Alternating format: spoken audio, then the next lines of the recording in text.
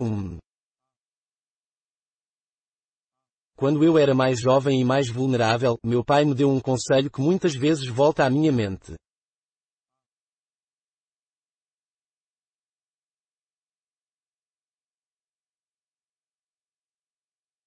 Sempre que tiver vontade de criticar alguém, recomendou-me, lembre primeiro que nem todas as pessoas do mundo tiveram as vantagens que você teve.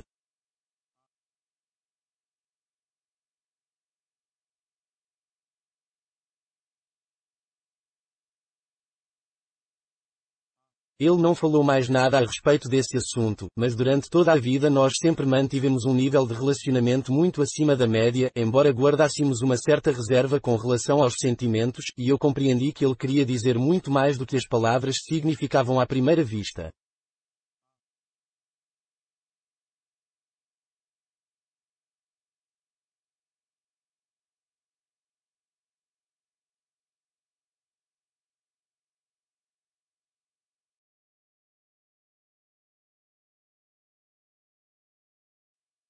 Em consequência, sou inclinado a adiar meus julgamentos até conhecer melhor as pessoas, um hábito que me desvendou muitas naturezas interessantes, mas também fez com que eu me transformasse em vítima de um certo número de pessoas especializadas na arte de aborrecer os outros.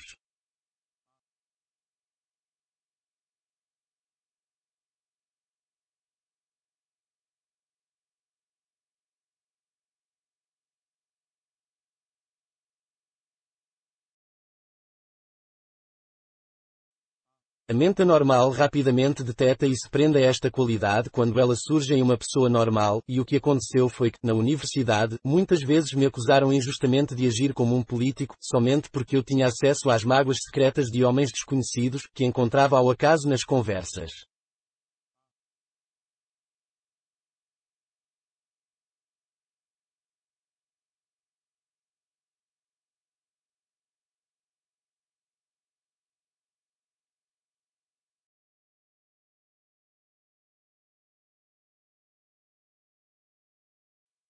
A maior parte destas confidências eram espontâneas, seguidamente eu fingia que estava com sono ou preocupado com outras coisas, assumia até mesmo uma ironia hostil ao perceber, por meio de alguns sinais indisfarçáveis, que uma revelação íntima estava tremulando no horizonte, isto porque as revelações íntimas dos jovens, ou pelo menos os termos em que eles as expressam, são em geral repetições evidentes de trechos encontrados em suas leituras, obviamente mutiladas pela supressão dos fatos que lhes são desfavoráveis.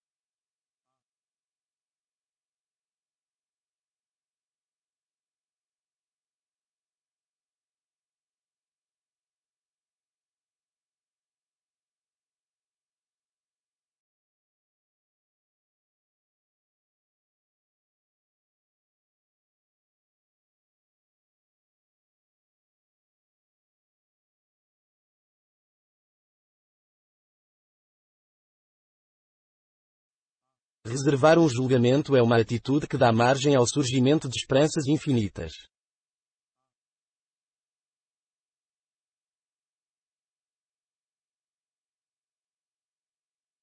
Ainda tenho medo de perder alguma coisa se esquecer o que meu pai falou certa vez, com um certo ar de superioridade e menosprezo, ele disse, e eu repito com a mesma pretensão, que um fato fundamental da vida é que qualidades como decência e dignidade são distribuídas aos homens com grande desigualdade ao nascerem.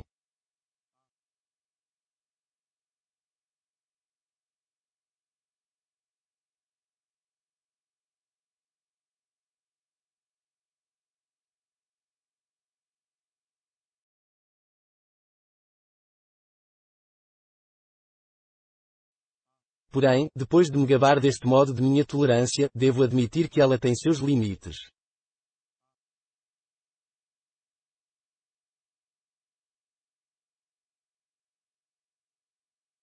A conduta de um homem pode ser alicerçada em rocha sólida ou em um pântano pegajoso, mas depois de um certo ponto eu não dou a mínima para os fundamentos sobre os quais ela foi estabelecida.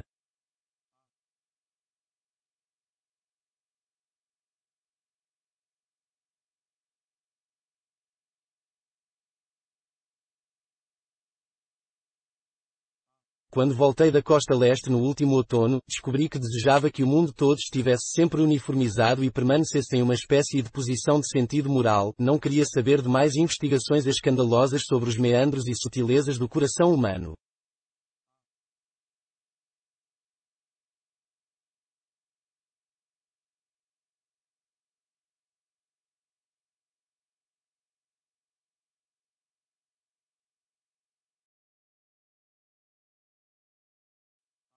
Somente Gatsby, o homem que empresta seu nome para esse livro, estava isento dessa minha reação, justamente Gatsby, que representava tudo aquilo que eu desprezava.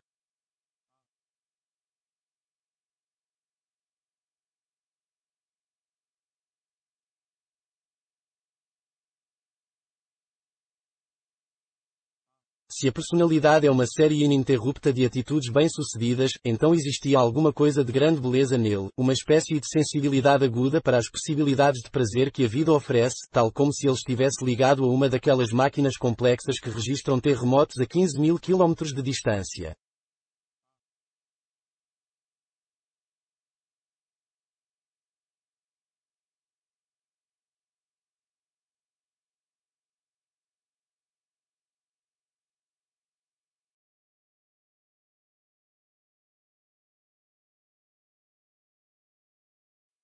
Essa capacidade de reação aos estímulos não tinha nada a ver com aquela volúvel inconstância que costuma ser dignificada pelo nome de temperamento criativo, era um dom extraordinário para o otimismo, uma presteza romântica tal como nunca encontrei em qualquer outra pessoa e que provavelmente nunca mais encontrarei.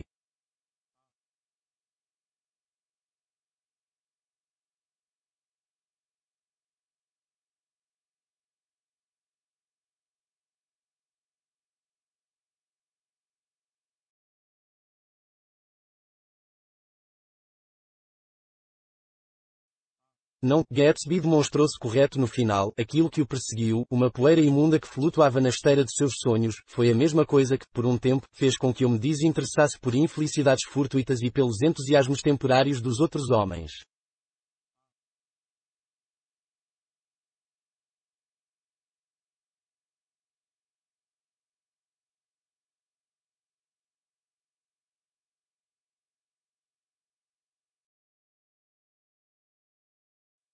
Minha família descendia de pessoas importantes e abastadas que tinham vivido numa cidade do centro-oeste dos Estados Unidos durante três gerações.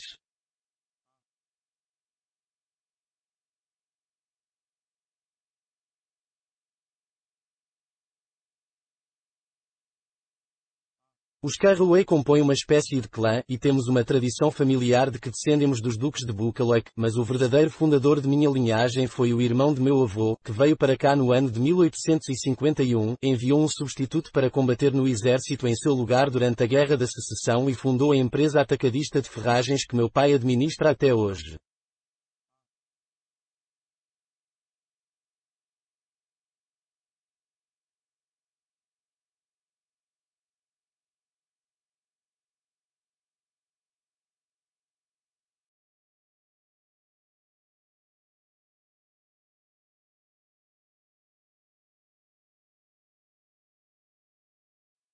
Eu nunca conheci este tio-avô, mas dizem que sou parecido com ele. Esse julgamento significa principalmente uma referência ao retrato a óleo de um homem de traços fisionômicos bastante fortes e vigorosos que está pendurado no escritório do meu pai.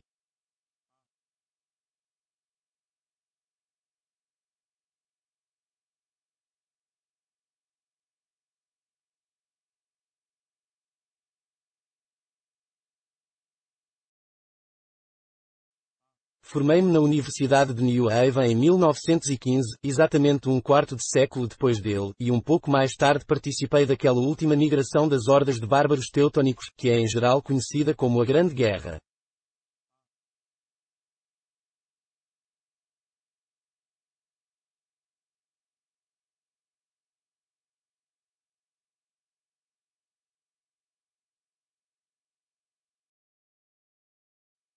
Gostei tanto dos contra-ataques promovidos pelos Estados Unidos que retornei bastante inquieto.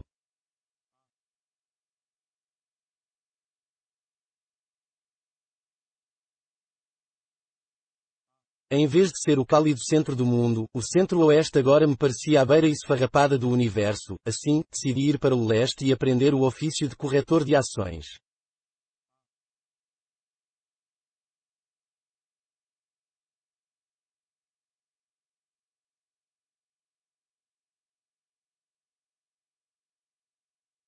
Todas as pessoas que eu conhecia estavam trabalhando com ações de tal modo que julguei que o mercado era capaz de sustentar mais um jovem solteiro.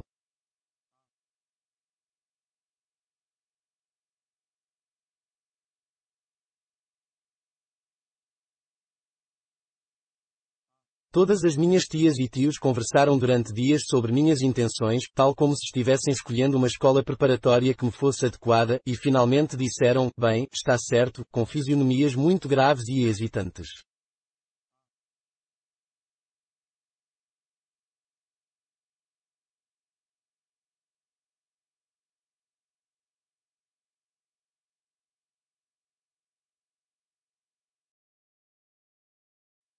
Meu pai concordou em financiar-me durante um ano e, depois de vários atrasos, vim para a costa leste, na primavera de 1922, acreditando que a mudança tivesse caráter permanente.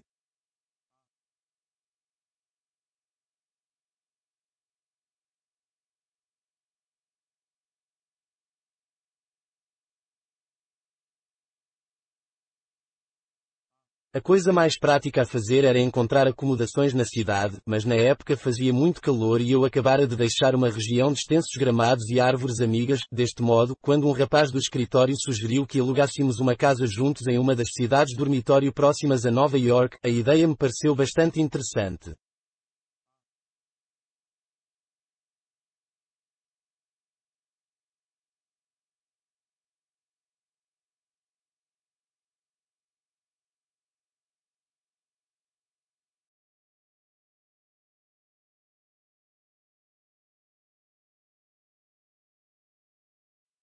Ele até mesmo encontrou a casa, um sobradinho de madeira, com divisórias de compensado e bastante maltratado pelo tempo, ao preço de 80 dólares por mês, mas no último minuto a firma ordenou que ele se transferisse para a filial de Washington, o que me levou a assumir o aluguel completo e a partir sozinho para o campo.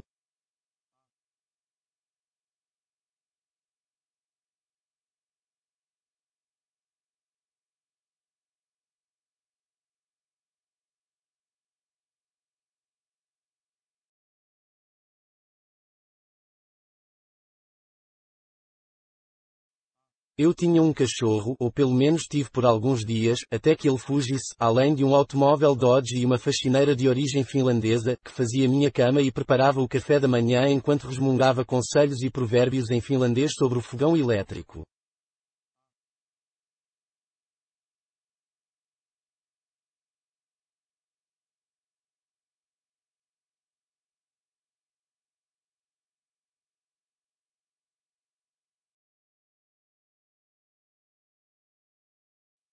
Eu me senti meio sozinho por um dia ou dois até que, certa manhã, um homem que havia se mudado para o bairro um pouco depois de mim fez-me parar enquanto eu caminhava pela rua.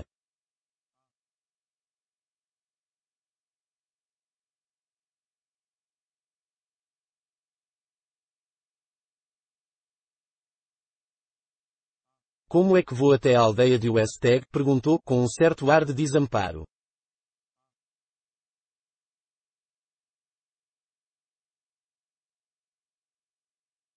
Indiquei-lhe o caminho. E assim que comecei a caminhar já não me sentia mais sozinho.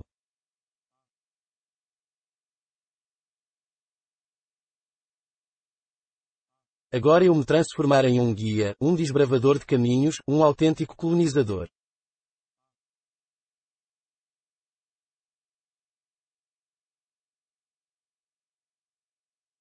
Com a maior naturalidade, ele presume que eu conhecia perfeitamente a região e começou a percorrer o bairro em total liberdade.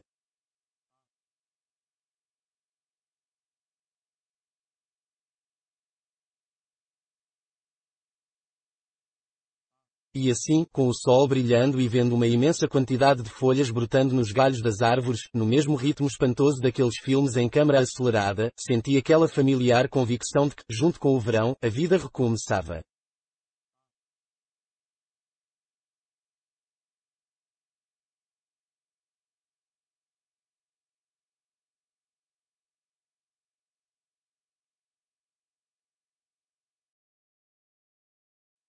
Para início de conversa, eu tinha muito material para ler a respeito de minha nova profissão, e o ar transmitia tanta saúde e vigor que era impossível permanecer deprimido por muito tempo.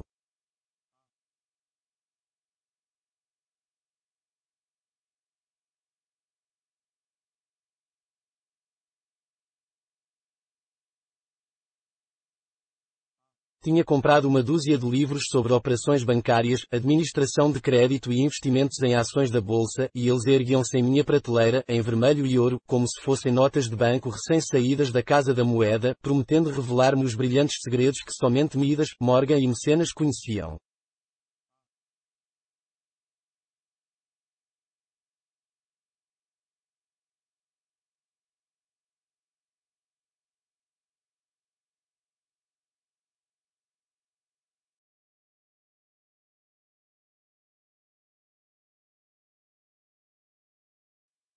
E eu tinha a melhor das intenções de ler muitos outros livros além destes.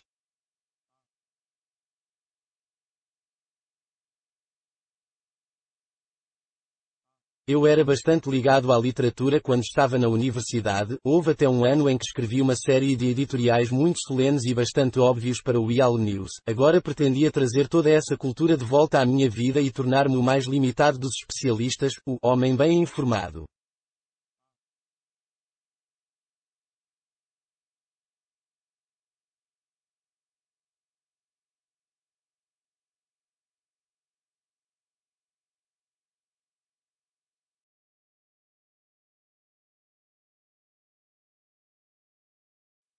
E isso não é para ser apenas um epigrama, a experiência demonstra que a vida é usufruída com muito maior sucesso quando contemplada através de uma única janela.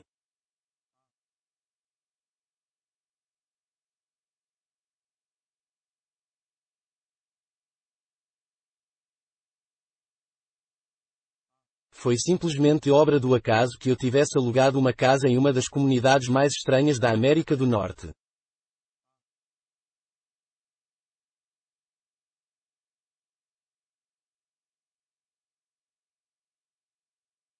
Ficava naquela ilha estreita e barulhenta que se localiza justamente a leste de Nova York, e na qual existem, entre outras curiosidades da natureza, duas formações geológicas bastante incomuns.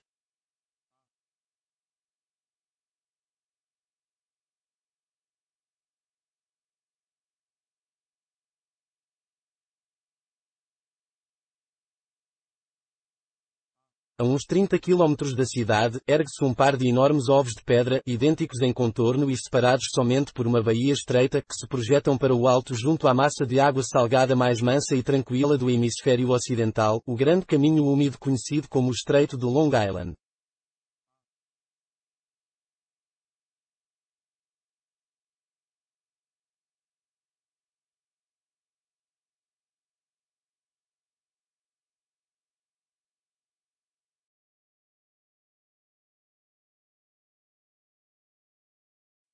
Não são perfeitamente ovais, assim como houve na história que contam a respeito de Colombo, os dois estão achatados no ponto de contato com as respectivas bases, mas sua semelhança física com ovos verdadeiros deve ser um motivo de assombro perpétuo para as gaivotas que voam sobre eles.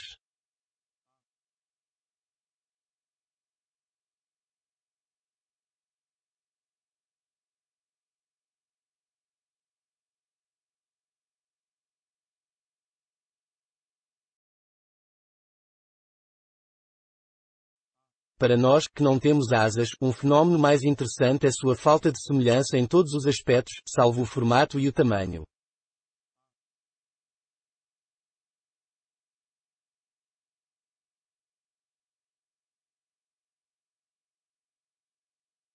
Eu morava em West Egg, que era, digamos, a área que na época se encontrava menos na moda, embora este seja um rótulo muito superficial para expressar o contraste bizarro e não pouco sinistro que existia entre eles.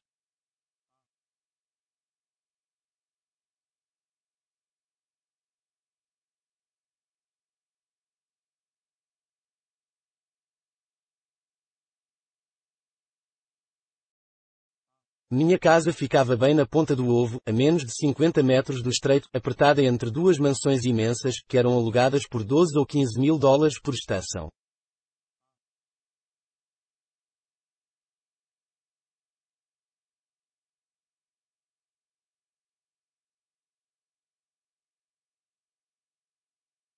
Aquela que ficava à minha direita seria considerada um prédio colossal, qualquer que fosse o critério adotado pelo observador, uma imitação bastante aproximada do Oldville e de alguma cidade da Normandia, com uma torre de um dos lados que parecia estranhamente nova sob a barba fina da era que havia crescido recentemente ao redor dela e uma piscina de mármore, além de mais de 20 hectares de gramado e jardins.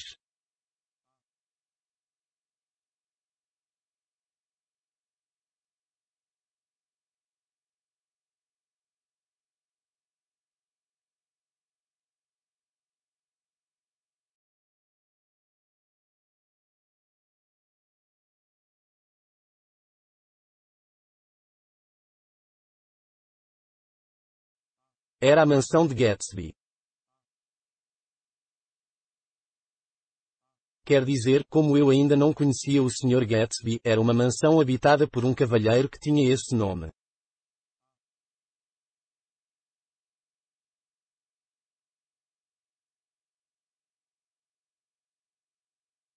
Minha casa era uma monstruosidade, mas uma monstruosidade muito pequena, que não chamava a atenção, e tinha as vantagens de uma vista para o mar, um panorama parcial do gramado de meu vizinho e a proximidade consoladora de milionários, tudo por 80 dólares ao mês.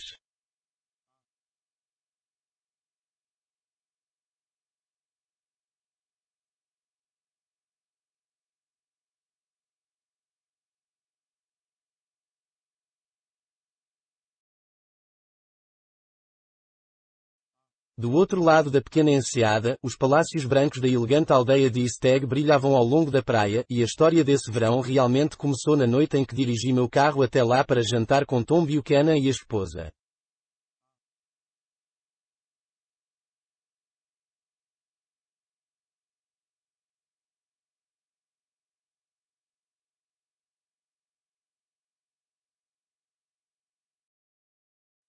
Daisy era minha prima em segundo ou terceiro grau, e Tom e eu nos conhecemos na faculdade.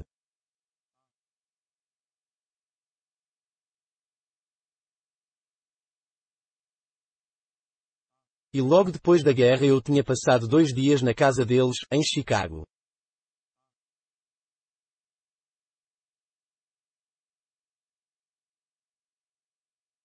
O marido de Daisy, dentre várias outras proezas físicas, tinha sido um dos melhores jogadores que já haviam passado pelo time amador de futebol americano da Universidade de New Haven. Sua atuação na equipe tinha sido tão importante que ele tornara-se conhecido em todo o país. Era um daqueles homens que atingem um grau tal de excelência aos 21 de idade que tudo que lhes acontece depois tem um sabor de anticlímax.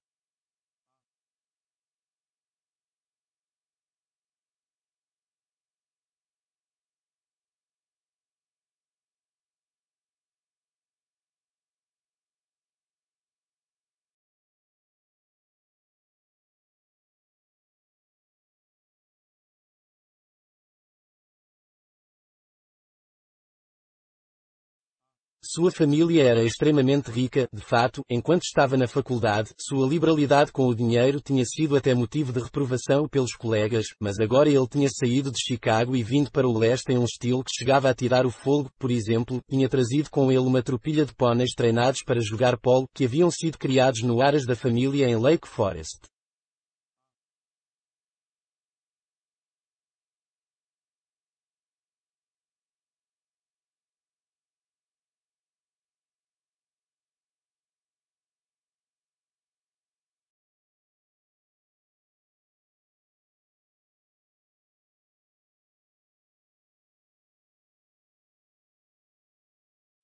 Era difícil de entender que um homem de minha própria geração pudesse ser rico bastante para desfrutar de um privilégio desses.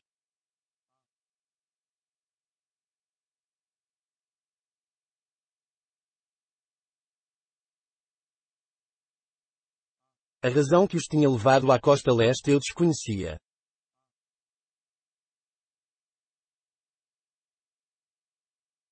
Haviam passado um ano na França, sem nenhum motivo em particular, e depois andaram para cá e para lá sem descanso, parando em todos esses lugares onde as pessoas jogam polo e são ricas.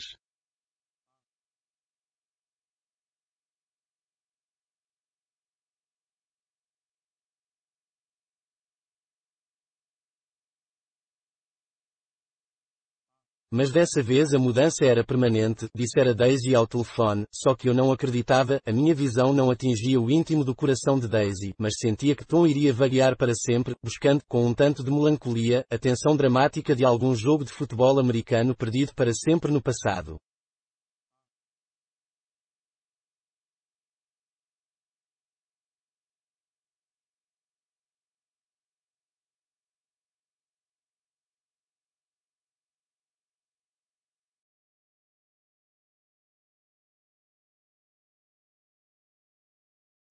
E assim aconteceu que, em uma noite cálida e ventosa, me dirigi até Isteg para ver dois velhos amigos que eu praticamente não conhecia.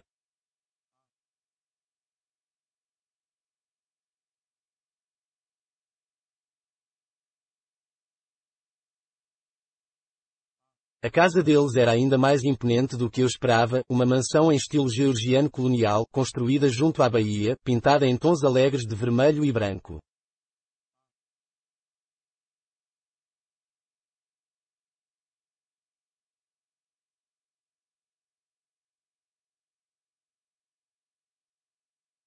O gramado começava na praia e subia uns 400 metros até a porta da frente, intercalado por relógios de sol, pequenos muros de tijolos e canteiros de flores resplandecentes. Quando finalmente chegava à casa, dividia-se para os dois lados em brilhantes trepadeiras, como se houvesse alcançado o ponto culminante de sua corrida.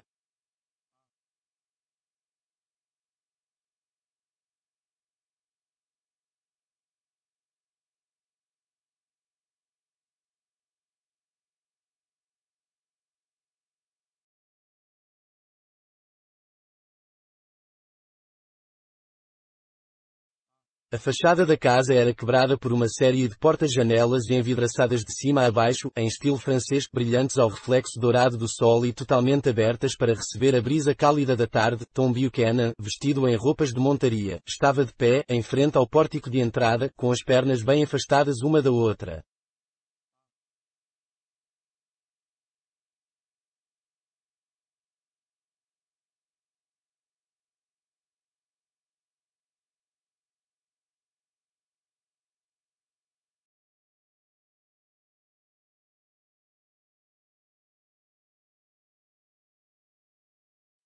Ele tinha mudado desde os tempos da Universidade de New Haven.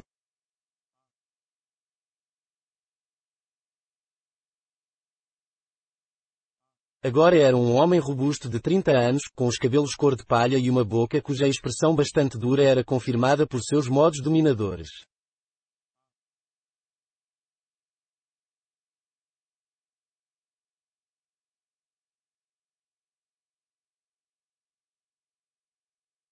Dois olhos luminosos e arrogantes eram a característica mais marcante de seu rosto e lhe davam a aparência de alguém que estava sempre pronto para agredir.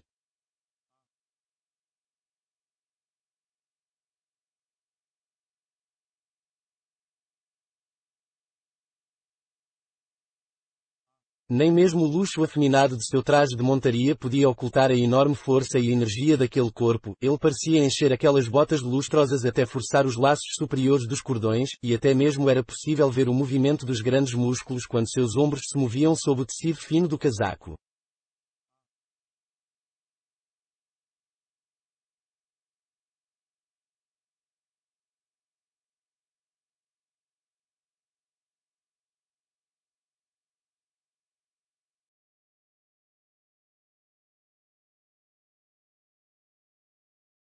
Era um corpo capaz de enormes esforços físicos, um corpo cheio de crueldade.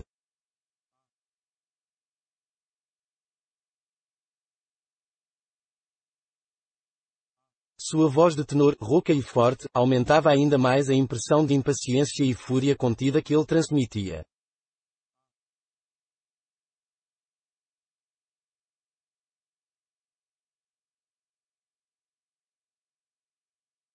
Havia nela um toque de desprezo paternal até mesmo quando se dirigia às pessoas de quem gostava, e houve homens em New Haven que o odiaram profundamente por isto.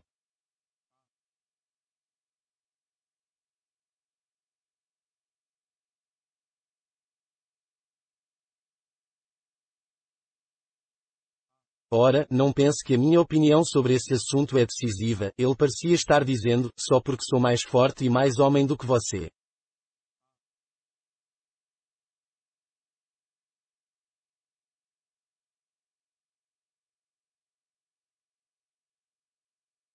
Nós participávamos da mesma sociedade de veteranos acadêmicos e, mesmo que nunca tenhamos sido íntimos, sempre tive a impressão de que ele me aprovava e queria, do seu jeito áspero e desafiador, que eu gostasse dele também.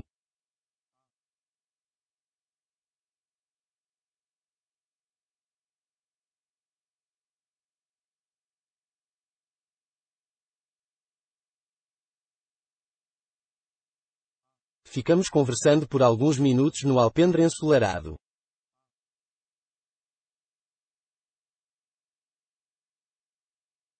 Eu tenho uma bela propriedade aqui, disse ele, seus olhos inquietos cintilando ao redor.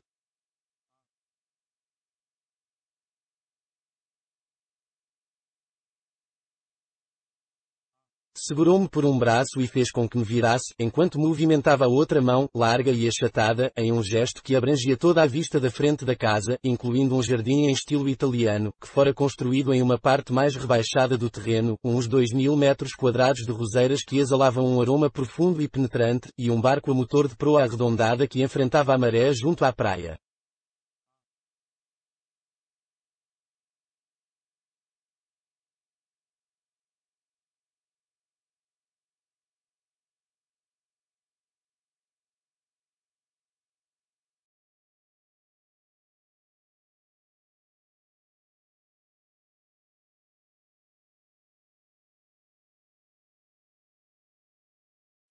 Pertencia a Demain, o homem do petróleo, disse ele.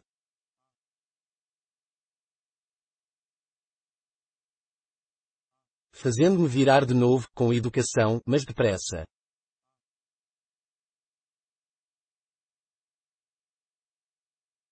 Vamos entrar. Atravessamos um saguão de teto alto e entramos em um espaço pintado de um rosa brilhante, ligado fragilmente ao restante da casa por meio de portas envidraçadas de cima a baixo situadas em ambas as extremidades.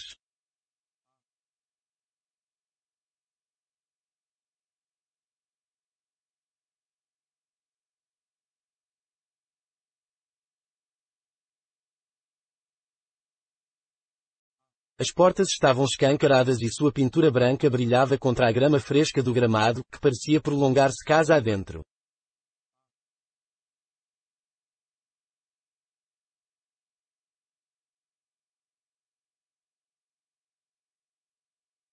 A brisa soprava através da sala, fazendo com que as cortinas balançassem de um lado para o outro como pálidas bandeiras, retorcendo-as e fazendo-as subir em direção ao teto, que lembrava o glacê de um bolo de casamento, depois elas caíam sobre o tapete cor de vinho, provocando ondulações e sombras sobre ele, como o vento sobre as ondas do mar.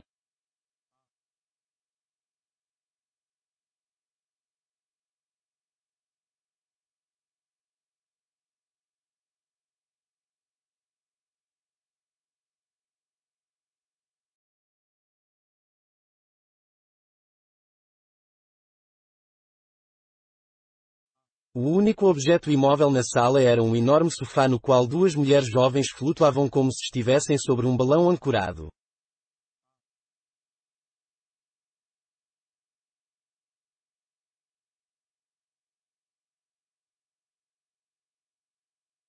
As duas estavam vestidas de branco e suas roupas drapejavam e balançavam, como se o vento as tivesse levado para um voo rápido ao redor da casa e recém as tivesse trazido de volta.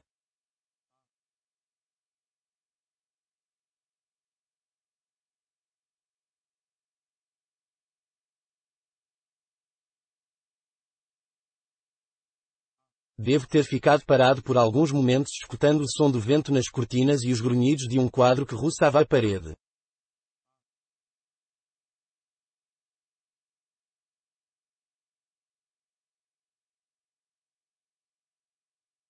Então houve um estrondo, quando Tom Buchanan fechou as portas envidraçadas do fundo e o vento aprisionado morreu ao redor da peça, e as cortinas, os tapetes e as vestes das duas jovens pousaram lentamente no assoalho.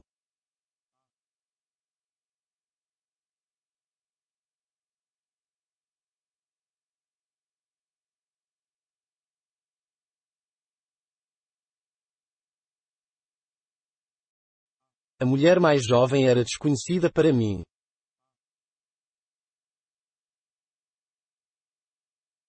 Ela estava estendida sobre o divã, completamente imóvel e com o queixo um pouco erguido, como se estivesse equilibrando nele alguma coisa que estava a ponto de cair.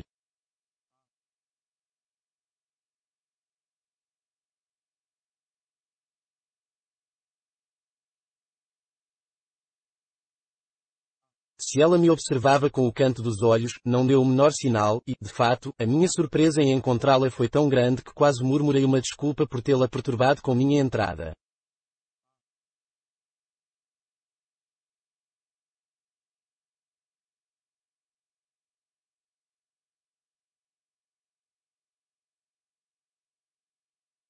A outra garota era Daisy, que fez menção de erguer-se, inclinou-se levemente para a frente com uma expressão acanhada e então deu uma risadinha encantadora e absurda, que retribui enquanto avançava pela sala.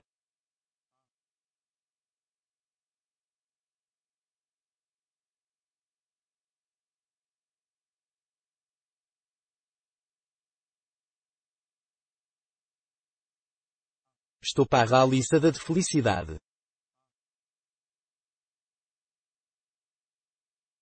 Ela riu de novo, como se tivesse dito alguma coisa muito espirituosa, e segurou a minha mão por um momento, erguendo os olhos para meu rosto com uma expressão que parecia significar que não existia nenhuma outra pessoa no mundo que ela tivesse mais vontade de encontrar.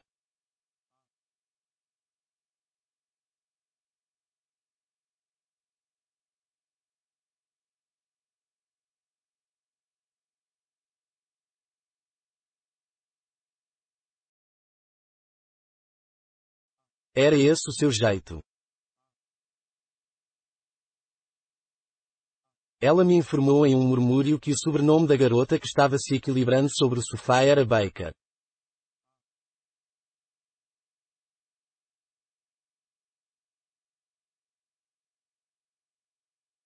Algumas pessoas diziam que o murmúrio habitual de Daisy se destinava a fazer com que as pessoas se inclinassem em sua direção, uma crítica irrelevante que não tornava o maneirismo menos encantador.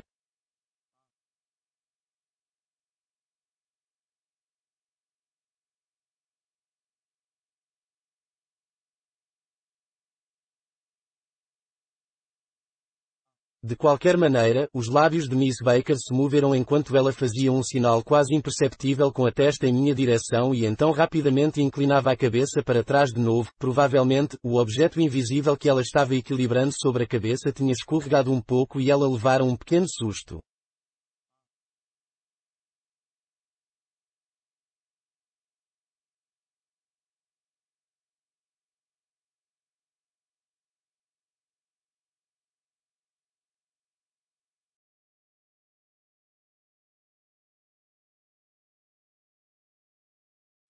E mais uma vez uma espécie de desculpa subiu aos meus lábios.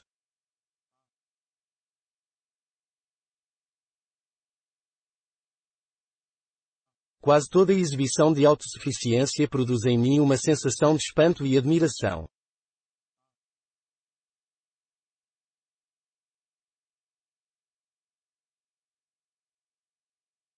Voltei novamente os olhos para minha prima, que começou a me fazer perguntas em sua voz baixa e emocionante.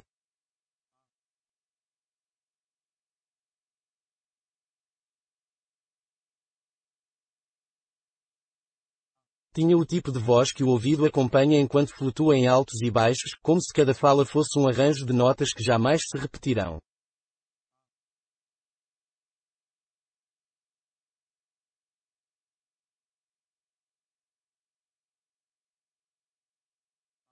Seu rosto era triste e encantador e cheio de coisas insuficientes, seus olhos brilhavam e a boca cintilava apaixonadamente, mas havia um convite excitante em sua voz, algo que os homens que se interessaram por ela achavam muito difícil esquecer, era como uma compulsão para cantar, um escute, sussurrado, uma suspeita de que ela tinha feito coisas alegres e excitantes há poucos minutos e uma promessa de que havia coisas ainda mais alegres e excitantes pairando à espera da próxima hora.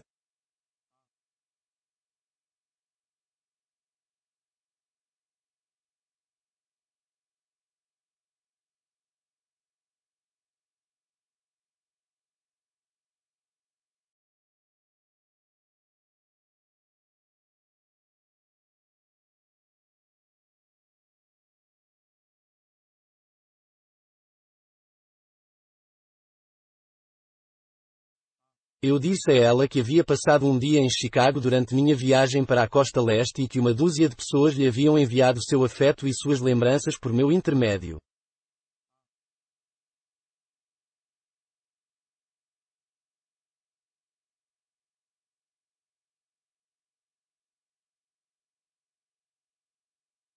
Quer dizer que têm saudades de mim, gritou ela, em êxtase.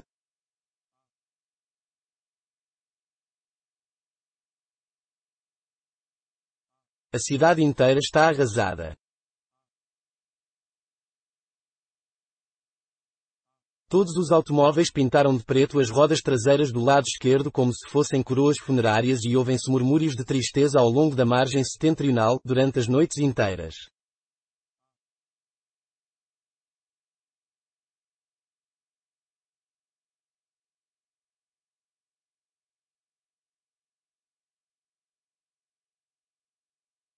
Ai, que lindo! Vamos voltar, Tom, amanhã mesmo.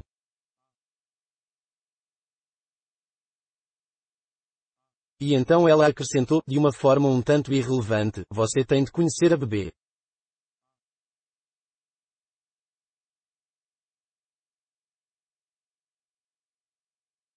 Gostaria muito. Bem, acontece que agora ela está dormindo.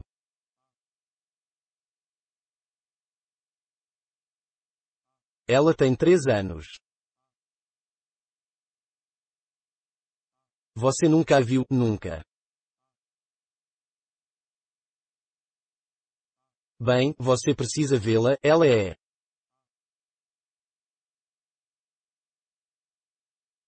Tom Buchanan, que estava inquieto e caminhava sem parar pela sala, parou e colocou uma das mãos em meu ombro.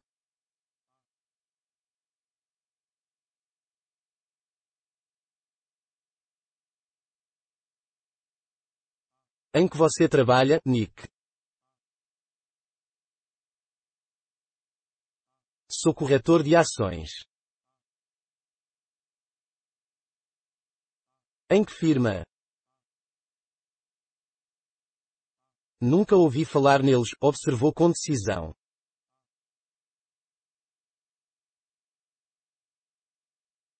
Isso me aborreceu. Mas vai, respondi com secura.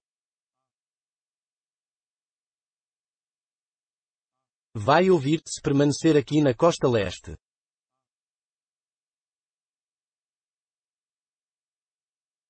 Ah, mas vou permanecer no leste, não se preocupe, disse ele, olhando rapidamente para Daisy e então de volta para mim, como se estivesse à espera de alguma outra coisa.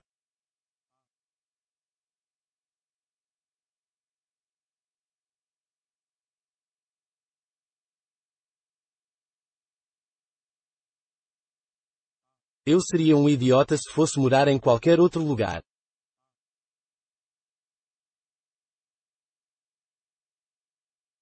Nesse ponto, Miss Baker exclamou, está absolutamente certo, de uma forma tão súbita que me assustei, eram as primeiras palavras que ela dizia desde que eu entrara no salão.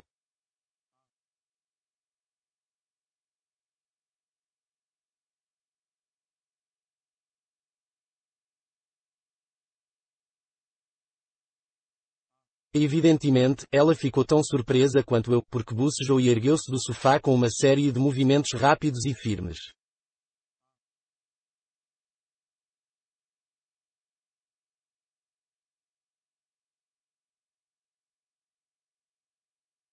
Estou toda dura, queixou-se, estou deitada nesse sofá desde que me conheço por gente.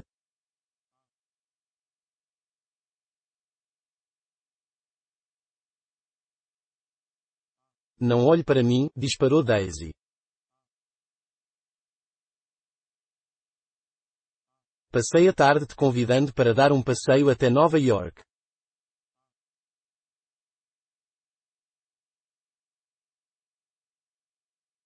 Não, muito obrigada, disse Miss Baker, olhando na direção dos quatro coquetéis que acabavam de chegar da Copa, estou fazendo um treinamento rigoroso.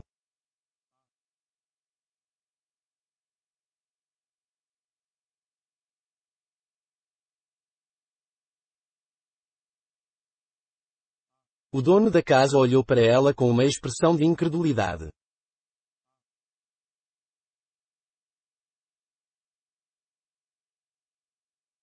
É mesmo? Ele engoliu o drink como se fosse uma gota no fundo de um copo.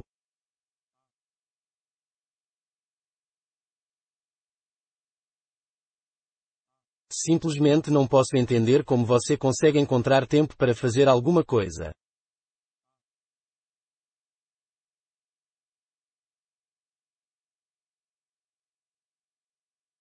Olhei para Miss Baker, imaginando que coisa era essa que ela fazia.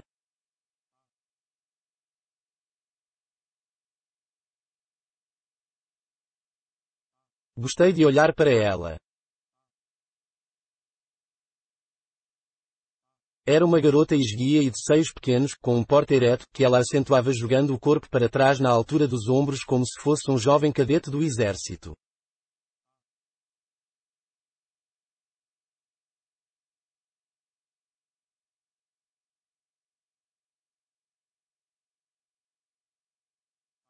Seus olhos cinzentos, apertados por causa da luz do sol, contemplaram-me de volta com uma recíproca e polida curiosidade do alto de um rosto pálido, encantador e descontente.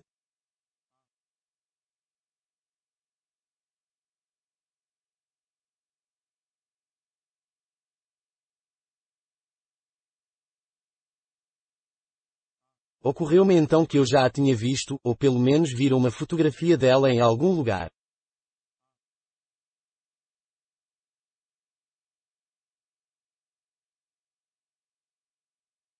Você mora em West Egg, observou ela, com desdém.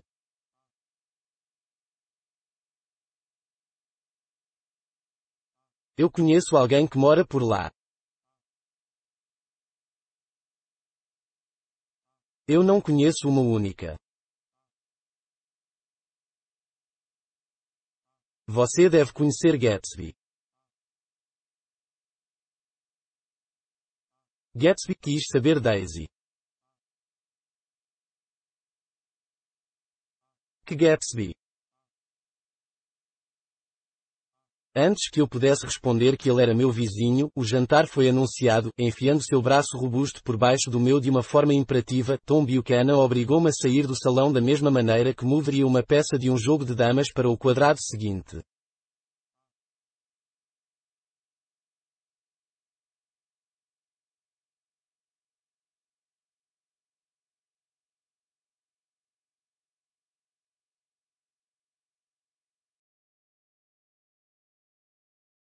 Esbelta e languidamente, com as mãos colocadas levemente nos quadris, as duas jovens nos precederam até um alpendre também pintado de rosa que se abria em direção ao pôr do sol, onde quatro velas bruxuleavam levemente sobre a mesa.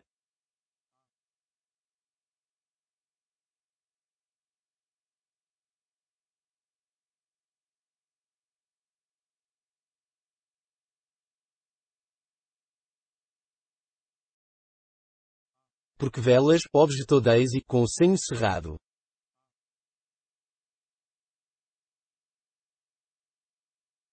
Ela apagou uma por uma com a ponta dos dedos.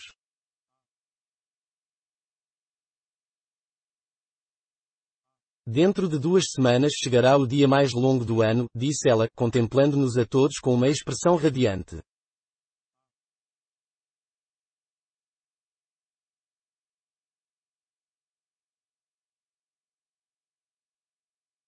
Vocês também ficam esperando uma porção de tempo pelo dia mais longo do ano e então se distraem e não percebem que chegou?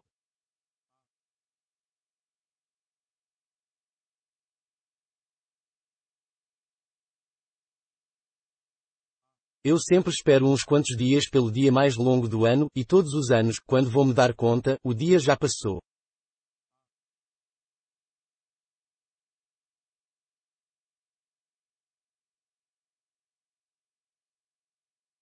Devíamos planejar alguma coisa, disse Miss Baker, bocejando e sentando-se à mesa como se estivesse indo para a cama.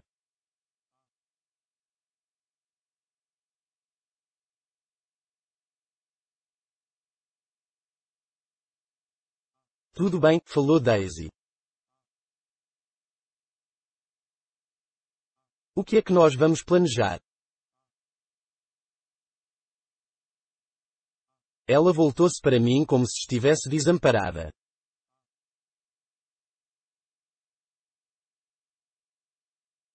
O que é que as pessoas planejam para esses dias?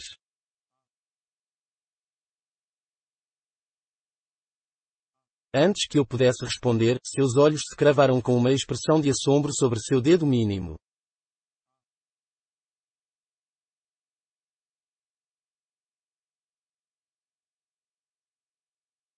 Olhem, ela se queixou. Machuquei meu dedinho. Todos nós parecíamos que a junta estava preta e azul.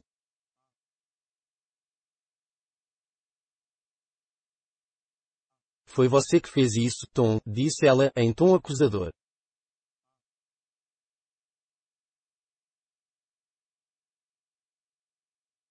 Eu sei que você não tinha a intenção, mas foi culpa sua.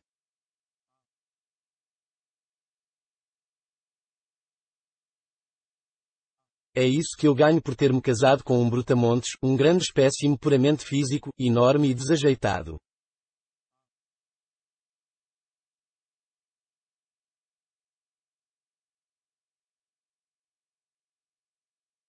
Eu odeio essa palavra, brutamontes, objetou Tom, mal-humorado, mesmo que seja só de brincadeira.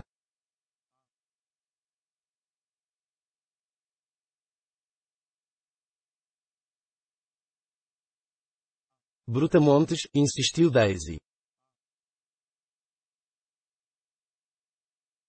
Algumas vezes ela e Miss Baker falavam ao mesmo tempo, mas de uma maneira tão natural que nunca chegava às raias da tagarelice, tão fresca como seus vestidos brancos e seus olhos impessoais, dos quais estava ausente toda espécie de desejo.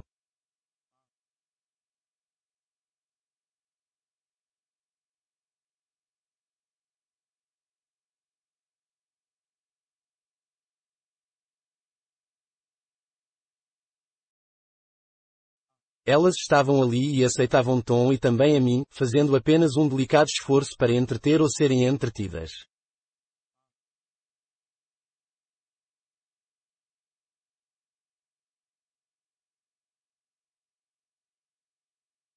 Sabiam que passado algum tempo o jantar acabaria e que um pouco mais tarde a noite também terminaria e poderia ser posta de lado com displicência.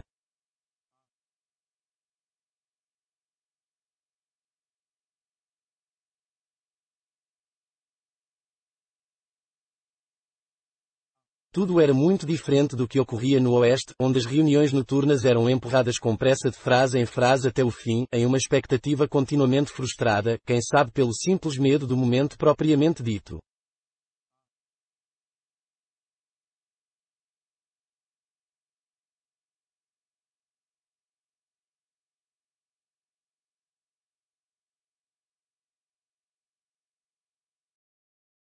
Você faz com que eu me sinta pouco civilizado, Daisy, confessei, enquanto tomava meu segundo copo de um clarete cuja qualidade me impressionou bastante, ainda que apresentasse um certo gosto de rolha.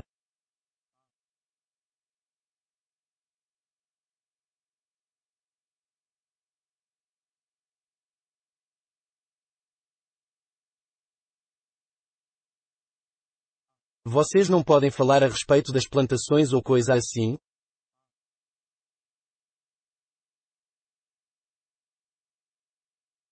Eu não estava querendo dizer nada em particular com essa observação, pretendia apenas que fosse espirituosa, mas foi aceita de maneira inesperada.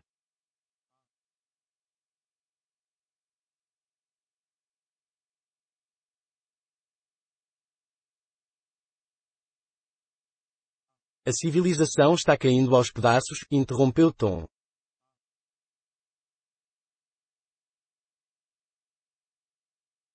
Eu me transformei em um terrível pessimista a respeito de tudo.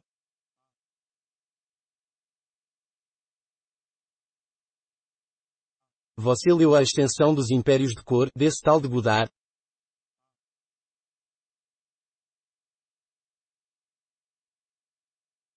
Não, não li, respondi, muito surpreso com seu tom de voz.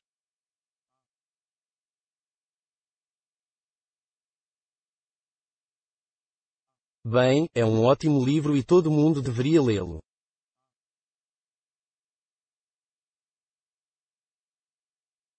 A ideia geral é de que, se não tivermos cuidado, a raça branca vai ser, ora, vai ser totalmente subjugada.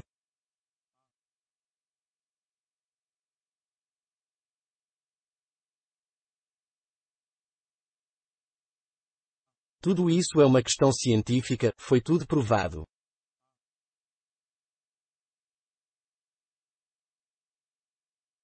Tom está ficando muito profundo, disse Daisy, com uma expressão de tristeza um tanto indiferente.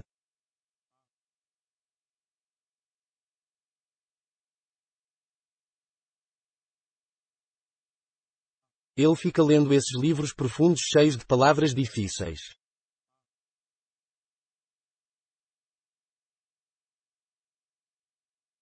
Qual foi aquela palavra que nós Bem, esses livros são todos científicos, insistiu Tom, lançando-lhe um olhar impaciente.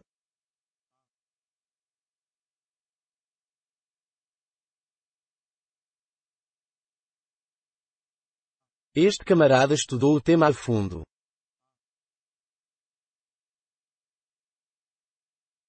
A responsabilidade é nossa, porque somos nós que pertencemos à raça dominante, temos de ficar de olhos bem abertos e ter cuidado com todas essas outras raças, caso contrário eles vão assumir o controle das coisas.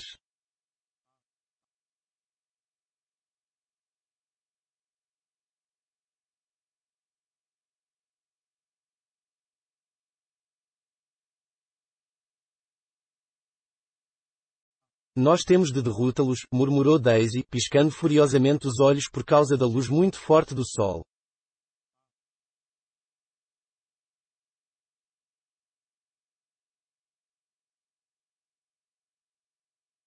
Vocês deveriam morar na Califórnia, começou Miss Baker, porém Tom interrompeu-a, movendo-se desajeitado sobre o assento de sua cadeira.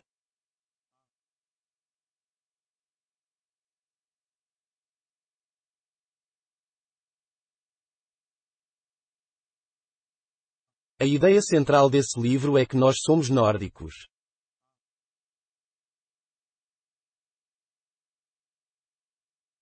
Eu sou, você é, você é e, após uma hesitação infinitesimal, ele incluiu Daisy com um leve sinal de cabeça, e ela piscou para mim de novo, e fomos nós que produzimos todas as coisas que contribuíram para construir a civilização, ora, a ciência e as artes e tudo o mais.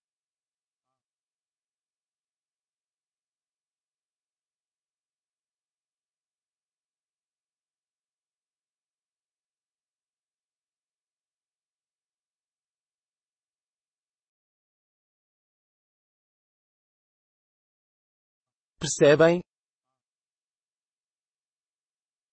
Havia alguma coisa de patético em sua concentração, como se sua complacência, mais aguda agora do que fora antigamente, não lhe bastasse mais.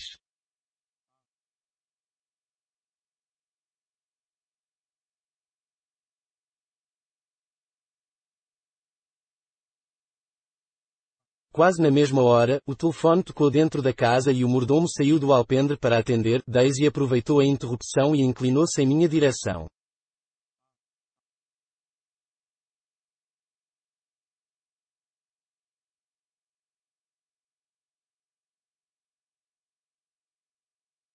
Vou-lhe contar um segredo de família, cochichou, entusiasmada.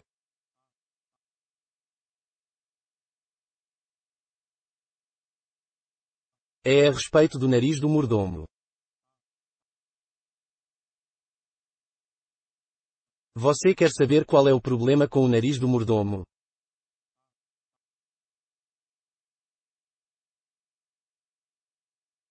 Foi só por isso que vim aqui essa noite.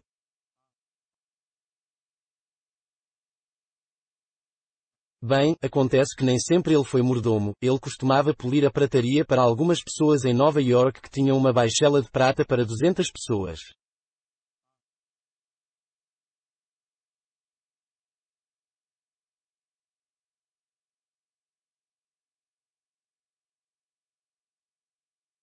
Ele passava esfregando aquela baixela inteira da manhã à noite, até que finalmente isto começou a afetar-lhe o nariz.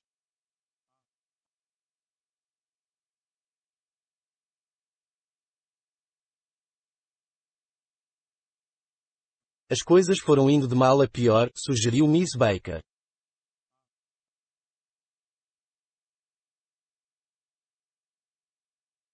Sim, as coisas foram ficando piores a cada dia que passava até que, finalmente, ele teve de se demitir do emprego.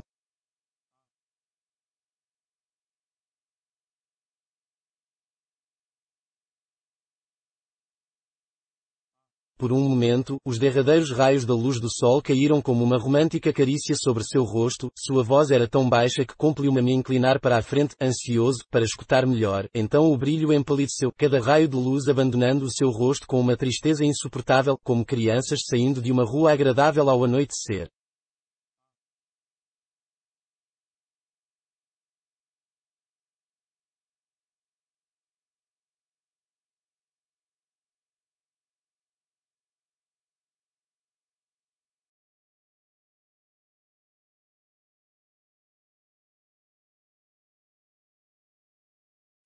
O mordomo retornou e murmurou alguma coisa junto ao ouvido de Tom, este franziu o senho, empurrou para trás a cadeira e entrou na casa sem dizer uma palavra.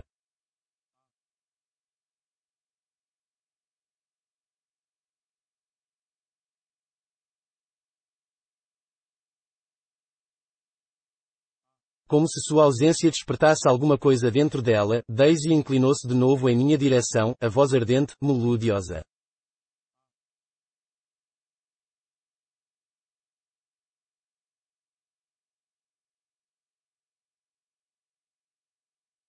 Eu adoro vê-lo sentado à minha mesa, Nick.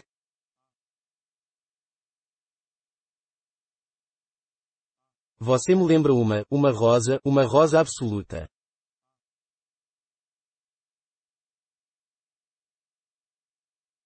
Ele não a faz lembrar também, disse ela, voltando-se para Miss Baker em busca de confirmação.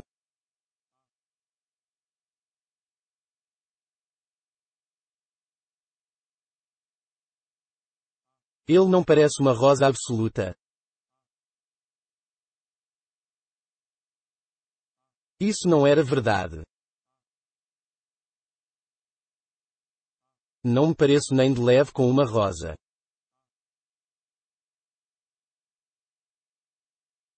Ela estava apenas improvisando, mas uma calidez verdadeira fluía dela, como se seu coração estivesse tentando sair e entregar-se a mim em uma daquelas palavras ofegantes e cheias de emoção.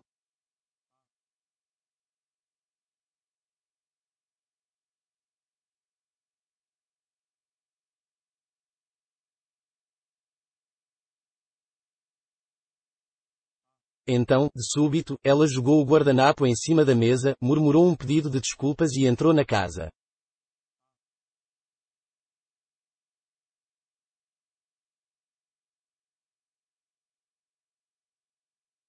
Miss Baker e eu trocamos um rápido olhar, conscientemente despido de significado.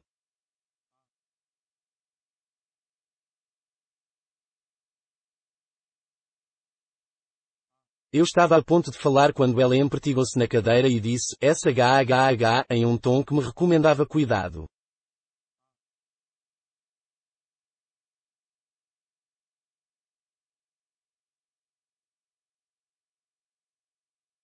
Da sala ao lado, ouvia-se um murmúrio abafado de uma calorosa discussão, e Miss Baker inclinou-se nessa direção sem o menor constrangimento, tentando escutar.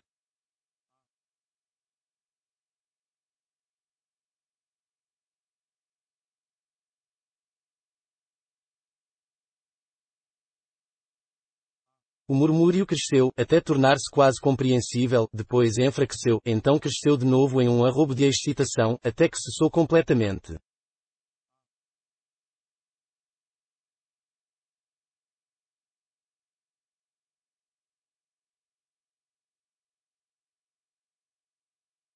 Este Sr. Gatsby de quem você falou é meu vizinho, comecei.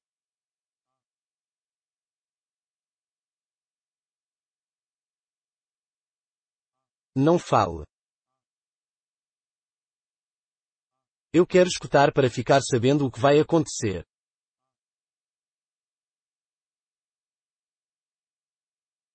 Está acontecendo alguma coisa?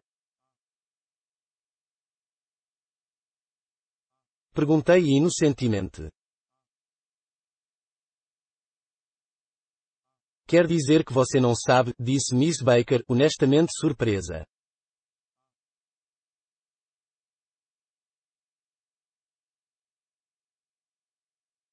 Eu pensei que todo mundo soubesse.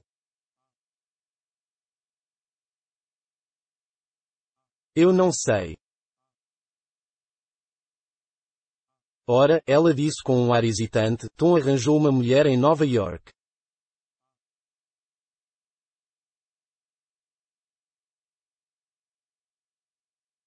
Arranjou uma mulher?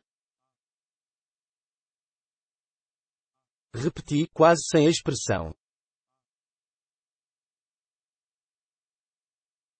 Miss Baker concordou com um movimento de cabeça.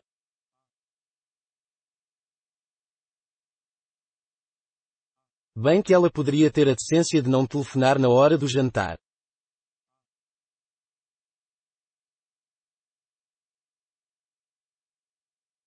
Você não acha?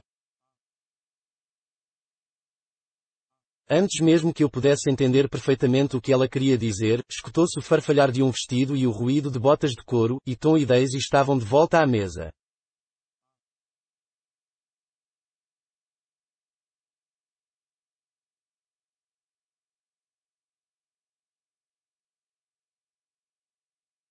Não pude evitar, disse Daisy, com uma alegria cheia de tensão.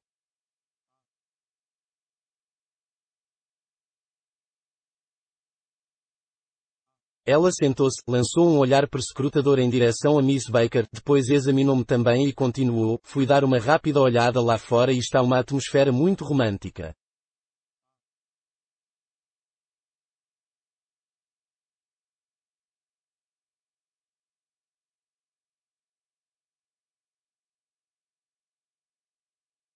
Há um passarinho no gramado e estou achando que é um roxinol que atravessou o oceano em um dos barcos da Cunard ou da White Star.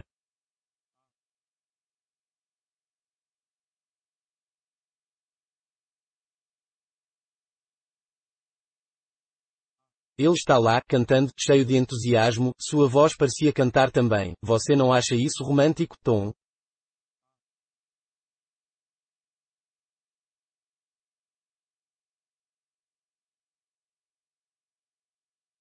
Muito romântico, concordou ele, e então dirigiu-se a mim em um tom de voz melancólico, se após o jantar ainda estiver claro, quero mostrar-lhe a estrebaria.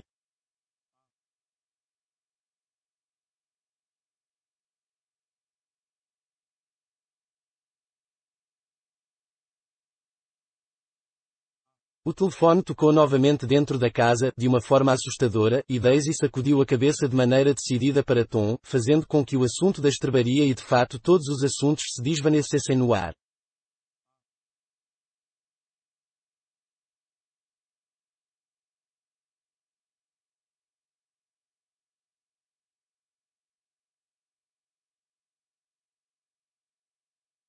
Entre os fragmentos esparsos dos últimos cinco minutos sentado à mesa, lembro-me de que as velas foram acesas novamente, sem o menor motivo, e de ter uma nítida consciência de que, ao mesmo tempo em que desejava olhar diretamente para o rosto de todos, queria evitar todos os olhares.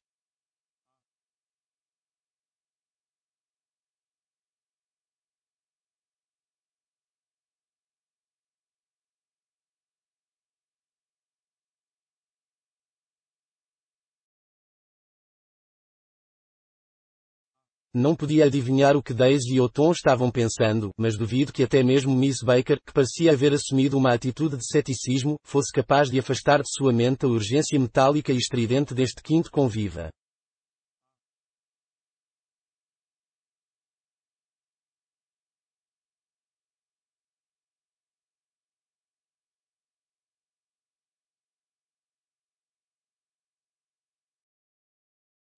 Para um determinado tipo de temperamento, a situação poderia ter parecido até mesmo divertida, mas meus instintos me mandavam telefonar imediatamente para a polícia.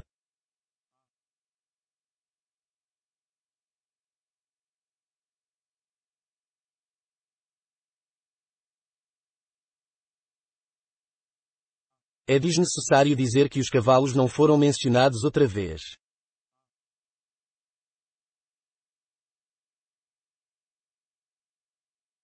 Tom e Miss Baker, caminhando a cerca de um metro e meio de distância um do outro, atravessaram o crepúsculo e se dirigiram para a biblioteca, como se iniciassem o velório de um cadáver perfeitamente tangível, ao mesmo tempo que eu, tentando parecer agradavelmente interessado e um pouco surdo, segui Daisy por uma sucessão de varandas até o pórtico da frente.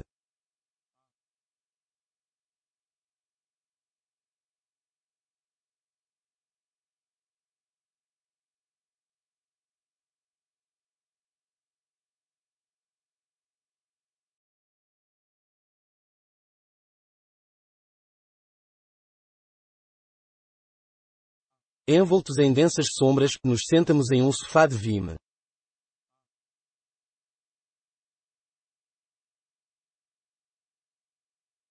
Daisy colocou o rosto entre as mãos como se estivesse tateando seu formato encantador, enquanto seu olhar se deslocava lentamente até pousar no crepúsculo aveludado que envolvia o jardim.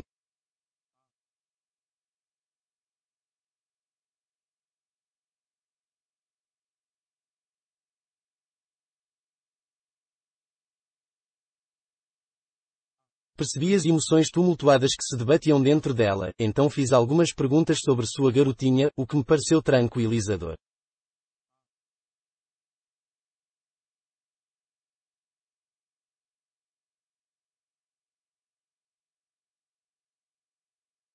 Nós não nos conhecemos muito bem, Nick, disse ela, subitamente, mesmo sendo primos.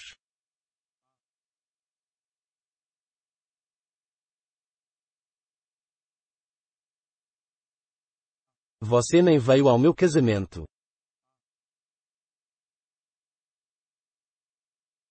Eu não tinha voltado da guerra.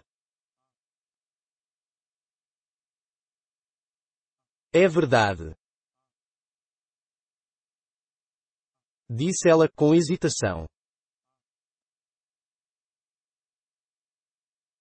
Bem, eu passei por um mau pedaço, Nick, e fiquei bastante cética em relação a tudo.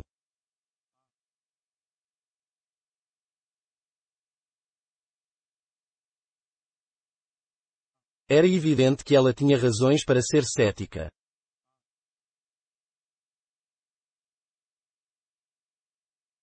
Esperei, mas ela não disse mais nada. Passado um momento, fiz uma tentativa bastante débil de retornar ao assunto de sua filha.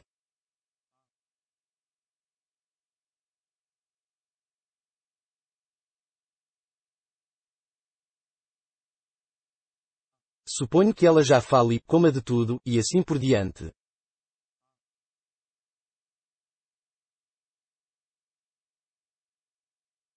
Ah, claro, ela me lançou um olhar ausente.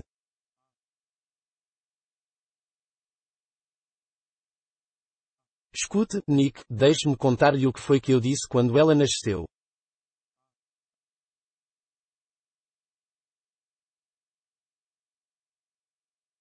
Quer ouvir? Claro que quero. Isso vai lhe demonstrar como é que passei a encarar certas coisas.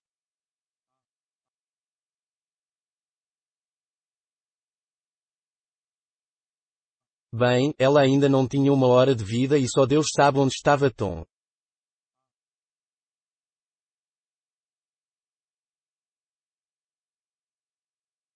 Eu acordei da anestesia com um sentimento de completo abandono e imediatamente perguntei à enfermeira se era menino ou menina.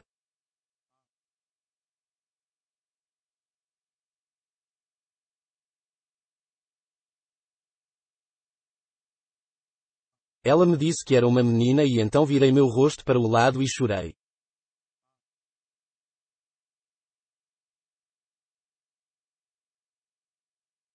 Tudo bem, eu disse, estou contente que seja uma menina.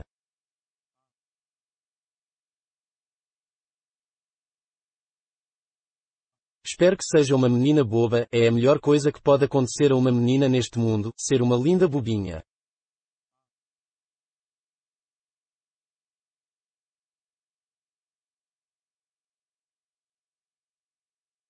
Sabe, e agora, de qualquer forma, eu acho que as coisas estão horríveis, prosseguiu ela, demonstrando firme convicção.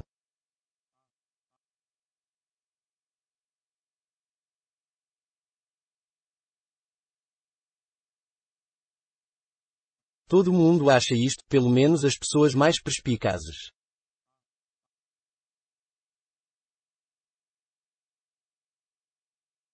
E eu sei que estão.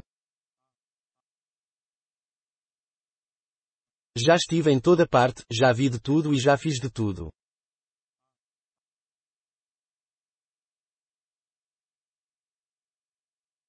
Seus olhos cintilaram, percorrendo o espaço a seu redor de uma forma desafiadora, lembrando bastante o olhar de Tom, e ela riu com um emocionado desdém.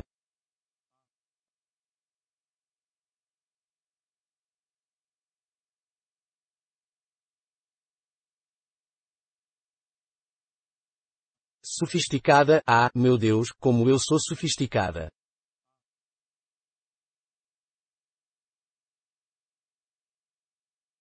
No instante em que parou de falar, cessando de exigir minha atenção e me obrigar a acreditar no que dizia, percebi que basicamente não existia sinceridade alguma no que ela havia dito.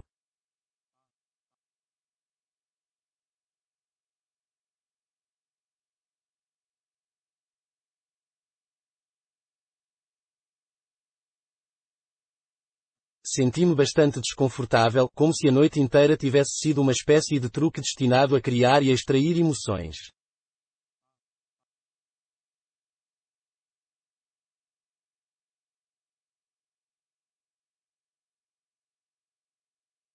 Esperei, passado um momento, ela me olhou com um sorriso debochado em seu rosto lindo, como se estivesse declarando fazerem parte, ela e Tom, de alguma sociedade secreta muito exclusiva.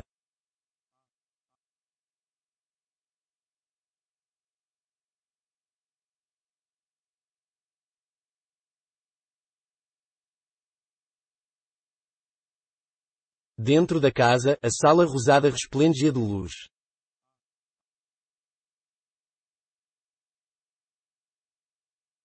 Tom e Miss Baker estavam sentados cada um em uma ponta do longo sofá e ela lia alguma coisa para ele no Saturday Evening Post. As palavras eram murmúrios sem inflexão e corriam juntas como se fossem uma tranquilizante melodia.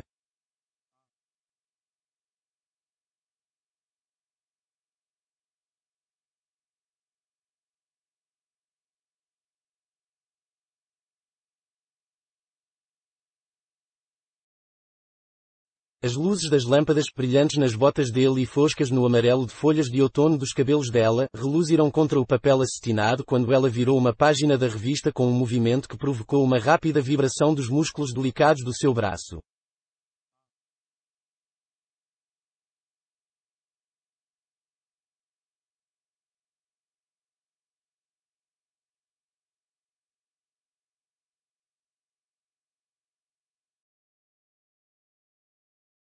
Quando entramos, ela nos pediu silêncio por um momento com a mão erguida.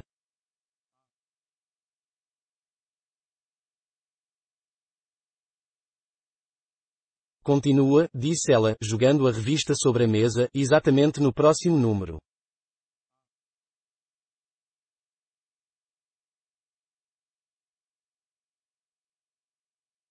Com um movimento ágil, ela firmou os joelhos e levantou-se.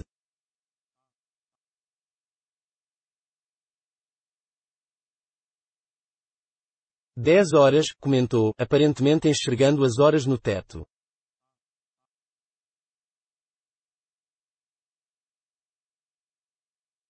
Hora de uma boa menina ir para a cama. Jordan vai jogar o torneio de amanhã explicou Daisy, lá em Westchester.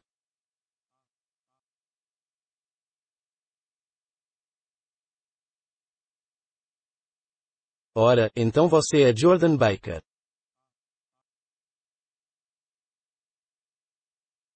Agora eu sabia porque seu rosto me parecia familiar, sua agradável expressão de desdém me contemplara do fundo de muitas fotografias em rotogravura sobre a vida esportiva em Asheville, Hot Springs e Palm Beach.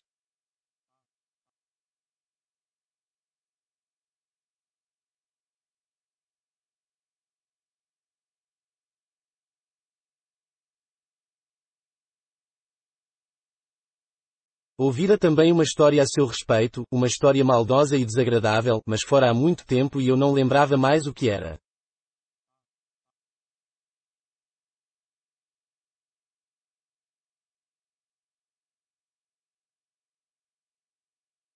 Boa noite, disse ela, baixinho.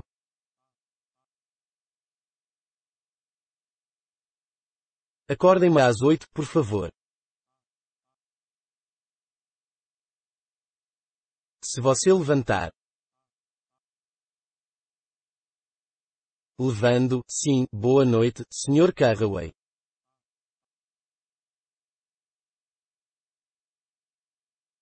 Vamos nos ver outra vez. É claro que vão, confirmou Daisy.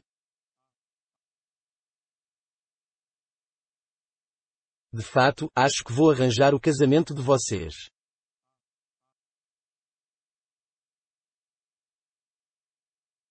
Venha nos visitar com frequência, Nick, e eu acho que vou, bem, empurrar vocês um para o outro.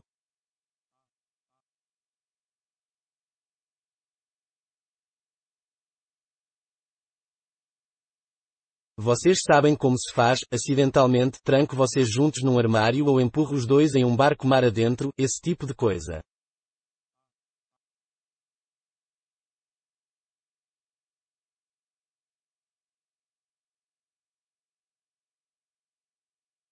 Boa noite, repetiu Miss Baker, subindo a escada.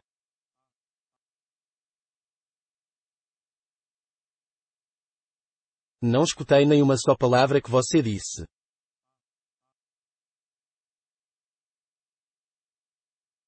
Ela é uma ótima moça, disse Tom, após um momento.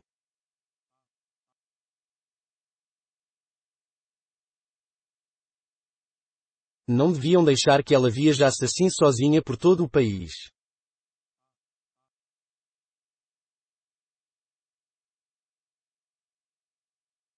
Quem não devia, indagou Daisy, friamente.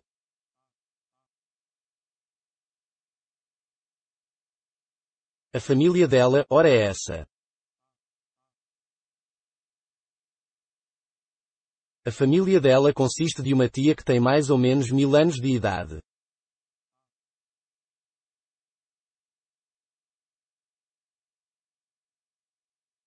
Além disso, Nick vai começar a cuidar dela, não vai, Nick?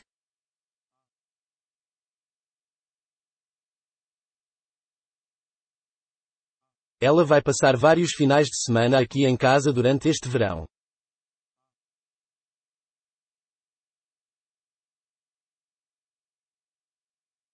Acho que a influência do lar vai lhe fazer muito bem.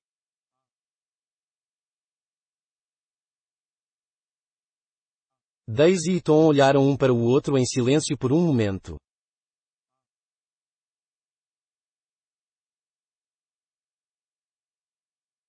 Ela é de Nova York? Perguntei rapidamente.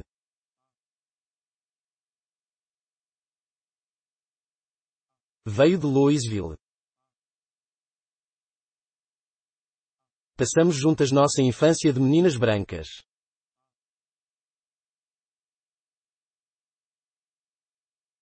Nossa linda e imaculada. Você abriu seu coração a Nick enquanto estavam na varanda, Tom indagou subitamente.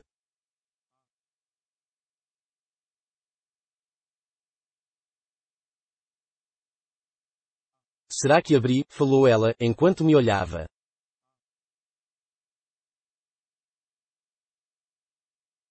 Não consigo lembrar, mas a impressão que tenho é de que conversamos sobre a raça nórdica.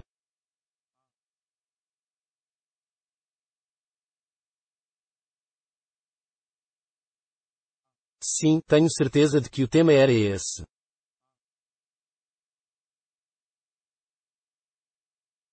É o tipo de assunto que toma conta da gente, e quando a gente menos percebe.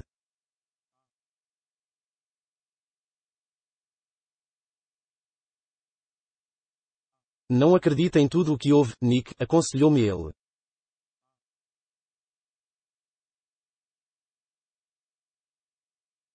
Respondi com delicadeza que não havia escutado nada e, alguns minutos depois, levantei-me para ir embora.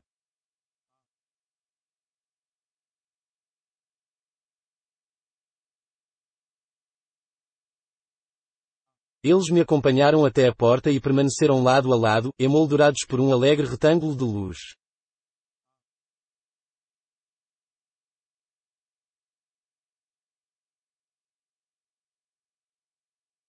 Quando eu estava ligando o motor, Daisy gritou, peremptoriamente, espere.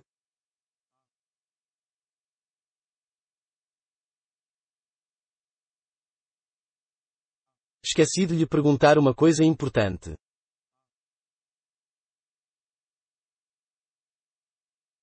Ouvimos dizer que você estava noivo de uma garota no Oeste.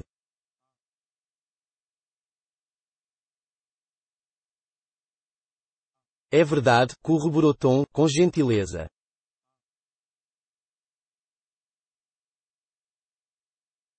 Ouvimos dizer que você estava noivo.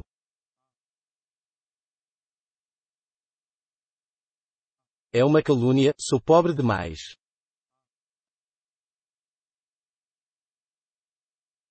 Mas nós ouvimos dizer, insistiu Daisy, abrindo-se novamente como uma flor, de uma maneira que me surpreendeu.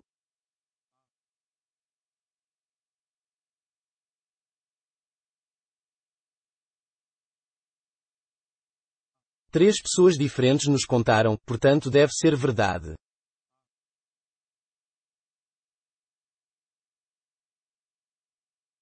É claro que eu sabia a que eles estavam se referindo, mas não estava sequer vagamente comprometido.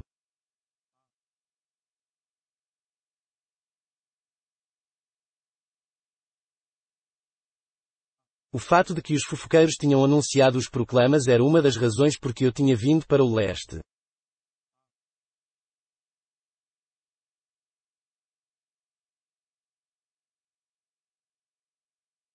Você simplesmente não pode deixar de sair com uma velha amiga só porque certas pessoas estão falando e, obviamente, eu não iria me casar só por causa desta boataria.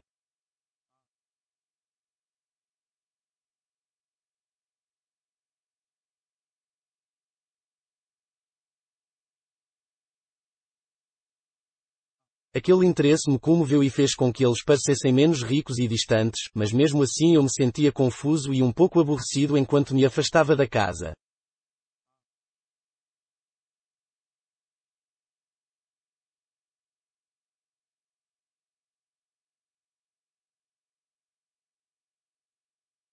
A impressão que eu tinha era a de que Daisy deveria abandonar tudo e fugir com a criança nos braços, embora tudo levasse a crer que ela não tinha a menor intenção de fazê-lo.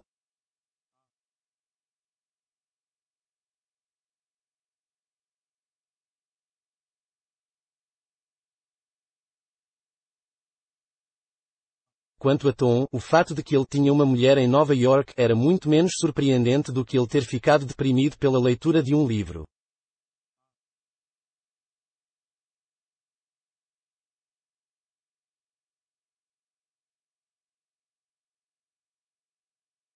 Alguma coisa estava fazendo com que ele mordiscasse as beiradas de velhas ideias, como se seu robusto egotismo físico não conseguisse mais alimentar seu coração arrogante.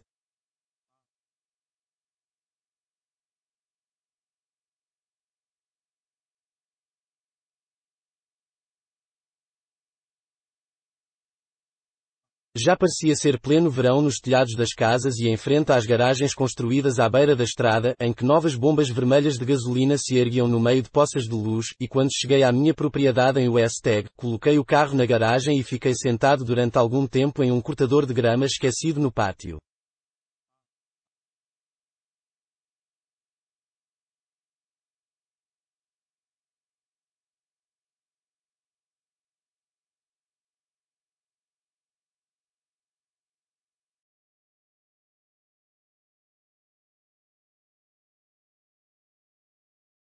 O vento tinha parado, deixando atrás de si uma noite brilhante e cheia de ruídos, em que os pássaros batiam as asas nos galhos das árvores e os sapos faziam um som contínuo que lembrava o de um órgão, enquanto a força da terra os enchia de vida como se fosse um grande fole.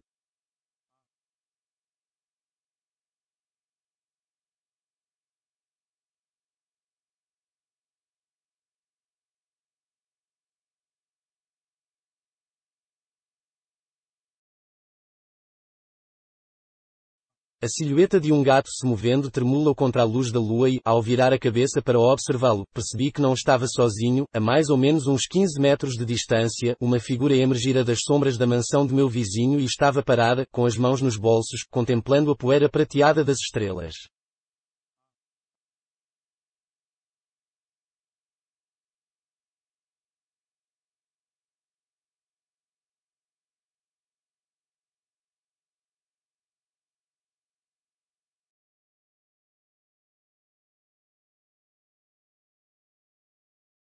Alguma coisa em seus movimentos tranquilos e a posição firme de seus pés sobre o gramado sugeria que era o próprio Sr. Gatsby que havia saído de casa para determinar qual porção do céu lhe pertencia.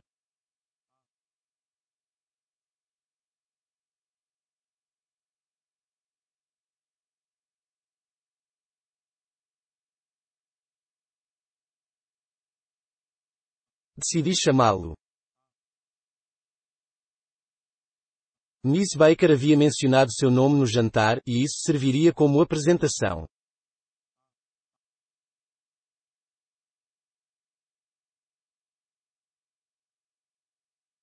Mas não o interpelei de imediato, porque ele subitamente demonstrou que estava satisfeito por estar sozinho, esticou os braços em direção às águas escuras de uma maneira muito curiosa e, mesmo estando longe dele, pude perceber que todo o seu corpo tremia.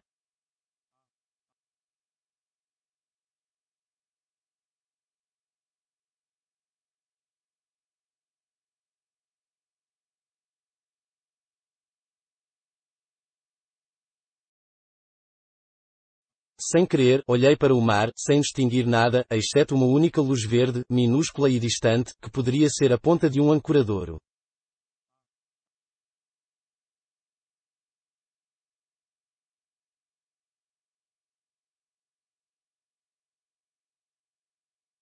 Quando olhei outra vez na direção de Gatsby, ele havia desaparecido, e eu me encontrava novamente a sós na escuridão inquieta.